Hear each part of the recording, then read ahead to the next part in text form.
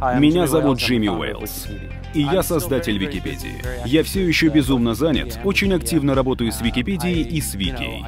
Но я думаю и о новых проектах, постоянно придумываю что-то. Я уверен, лучшие проекты и продукты появляются, когда у человека есть какой-то интерес помимо того, чтобы просто зарабатывать деньги. Когда он хочет сделать что-то новое и прекрасное, улучшить мир, сделать какую-то осмысленную работу. Я часто говорю это молодым предпринимателям. Беритесь за проекты, которые интересны вам лично. Так вы быстрее добьетесь успеха, чем взявшись за проект, который выглядит финансово привлекательным, но который вам самим не нравится. Скорее всего, занимаясь нелюбимым делом, вы далеко не уйдете. Википедия заняла свое место в культуре в глобальном масштабе. 500 миллионов человек в месяц пользуются этим сайтом.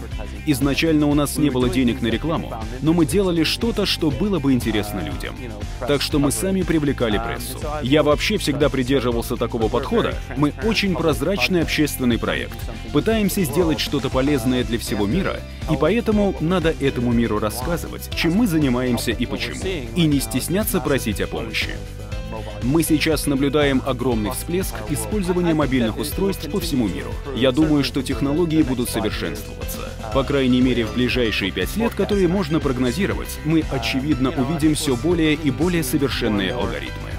Есть огромное поле для инноваций, для того, чтобы люди вместе решали разные задачи. Новые технологии дают массу возможностей.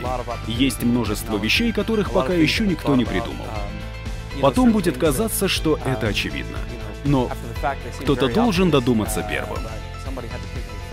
План Б на сайте rbk.ru